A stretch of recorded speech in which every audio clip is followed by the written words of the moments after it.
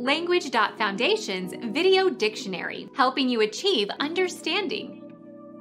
A political party in the United States. Formed in 1874 to advocate the peaceful introduction of socialism. Become our student and get access to effective and free educational materials. Subscribe to our channel to become a part of our growing community and to learn English effectively.